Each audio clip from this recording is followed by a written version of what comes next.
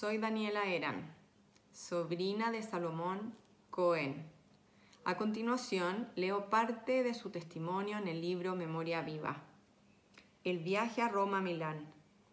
Luego me fui de Roma a Milán, a pie, a pie por la montaña. No tenía nada, nada. Comía la hierba. La hierba es sana, no hay problema. Tres días a donde mi hermano Jaime y la Victoria. Tocó el timbre.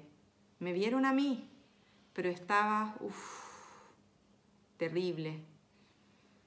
No me pregunten, yo quiero ver a mi hermano. Llegué.